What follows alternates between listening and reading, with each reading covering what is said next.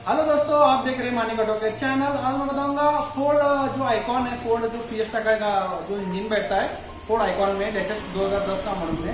उसमें टर्बो का प्रॉब्लम आ गया है। कस्टमर का जो सर्विस मेंटेनेंस टाइम पे नहीं करने की वजह से और उसका जो ऑयल फ़िल्टर है एयर फ़िल्टर है, वो टाइम पे नहीं चेंज करने की वजह से उसका पूरा टर्बो आ गया है। आइए मैं आपको दिखा रहा हूँ। आप देख सकते हैं इसमें ऐसा प्ले आ रहा है। तो उसके वजह से क्या होता है कि पूरा टोटली धुआँ पे पीछे धुआँ फेंकता है गाड़ी और ऑयल खाता है ऑयल कंजम्पशन होता है। तो तो उसके लिए हमको क्या करना पड़ता है हमारा जो सर्विस जो है मेंटेनेंस सर्विस वो आपको time to time maintenance service कर, करने के बाद में आपको टर्बो का दिक्कत नहीं आता है। अभी हमें हमने सेकेंड हैंड लाया है टर्बो आपको दिखाता हूँ मैं उसका प्ले की ये देखो इसमें प्ले नहीं है।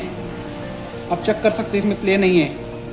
तो ये जो टर्बो है, ये मेन थिंग किसके वजह से आता है कि हम हम मेंटेनेंस करेक्ट टाइम में मेंटेनेंस नहीं करते नहीं तो इसका समझो ऑयल सप्लाई नहीं हुआ टर्बो को।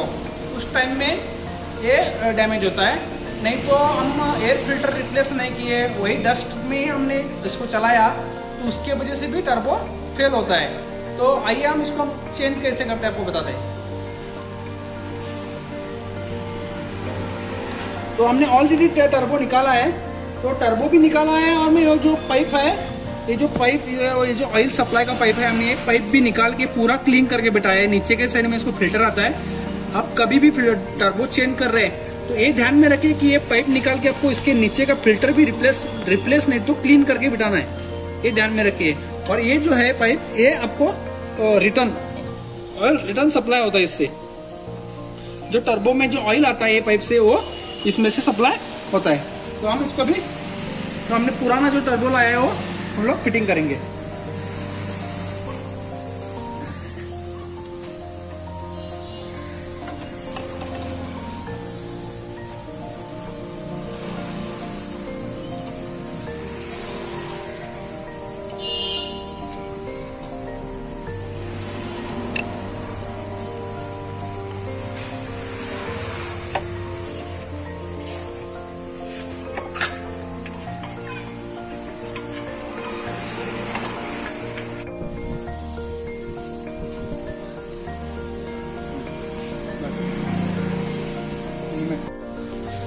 तो टर्बो पूरा फिटिंग किया है हमने। तो अब फाइनली हमको ये जो पाइप है, वो पाइप फिटिंग करना है। ये जो मेन इसको जो सप्लाई ऑयल सप्लाई होता है ना, ये पाइप ये पाइप फिटिंग करने से पहले इसमें हमको क्या करना है? थोड़ा ऑयल डालना है। पहले ऑयल थोड़ा डाल के ही बाद में इसको ऐसा फिटिंग करना है। क्योंकि इमीडिएटली ऑयल सप्लाई नहीं होता है। और इधर ड्राई रहता है ना तो क्या होता है, अंदर सील जो रहते हैं, वो ड्राईली मूवमेंट होते हैं। तो उस, इसके लिए उसमें थोड़ा ऑयल डालेंगे तो अच्छा हो जाएगा।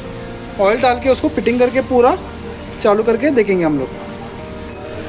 आप देख सकते हैं जो फ़िल्टर की हालत कैसी हो गई उसके वजह से भी टर्बो फेल हो सकता है। देख सकते हैं पूरा फ़िल्टर ख़राब हो गया तो हमने नया फ़िल्टर अभी फिटिंग करके ले रहे हो। तो पूरा हमने टर्बो भी फिटिंग किया है। तो हम अभी देखेंगे चालू करके कुछ प्रॉब्लम धुआ धुआ आता है। अभी नॉइज़ भी बराबर हो गया है। और लीकेज भी किधर नहीं है।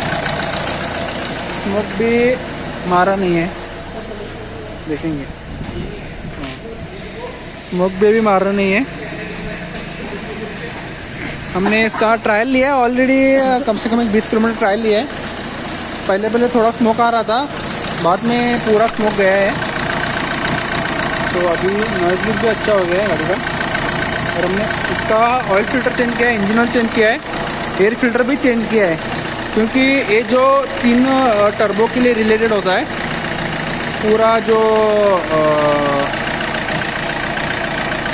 उसके वजह से ही टर्बो फेल होने के चांसेस रहते हैं, इसीलिए हमने वो सब चेंज किया तो अभी पूरा गाड़ी रेडी हो गया ऐसे ही और वीडियो के लिए मानी काटो के चैनल को सब्सक्राइब कीजिए शेयर कीजिए कमेंट कीजिए। Thank you